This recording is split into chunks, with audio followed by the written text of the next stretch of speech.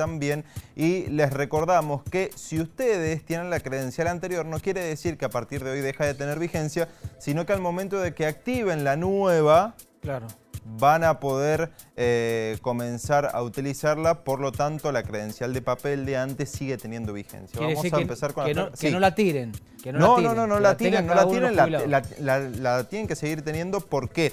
Porque ustedes con eso es lo con lo que le dan los medicamentos en la farmacia y con el que pueden realizar distintos trámites. También eh, si se tienen que hacer atender con algún médico. Así que eh, si ustedes ya recibieron la credencial a partir de hoy, que se hace a través del correo, ¿sí?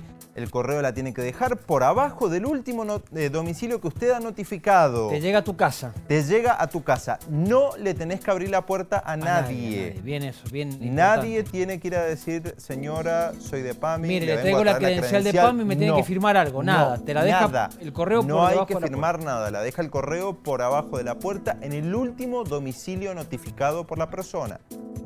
¿Sí? Vamos a aclarar esto porque siempre está el vivo que se quiere aprovechar de la situación Los delincuentes de siempre que aprovechan la ocasión para, para robar. Exactamente. ¿En qué provincia se empieza a implementar? En Mendoza, en San Juan, en San Luis, en La Rioja y en Catamarca. Ya se implementó en Córdoba, en el norte del país, en Buenos Aires, en la ciudad de Buenos Aires. Bueno, ahora le toca a todo este conjunto de provincias. Miren cómo era antes la, credencial. Antes era un papel nada más que se doblaba en dos y algunos lo plastificaban, pero bueno, ahora directamente es como una tarjeta, ¿sí? Como una tarjeta símil, tarjeta de crédito. Y vamos a los detalles que tiene cada una de estas tarjetas. Vamos a ver el anverso que tiene un código QR, ¿sí? que ¿para qué sirve el código QR? Para agilizar trámites, es como tener un código de barra directamente. Entonces se pueden agilizar mucho más rápido los trámites en vez de tener que estar poniendo el número de afiliado, el nombre. Eso, se, eso es una facilidad.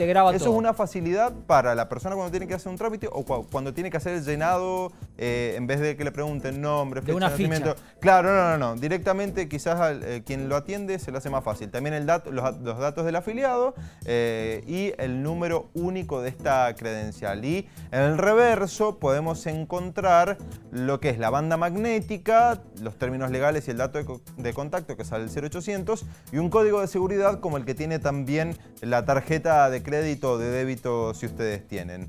También, ¿cómo se puede activar la tarjeta? Esto lo pueden hacer a través de la web en www.pami.org.ar barra credencial.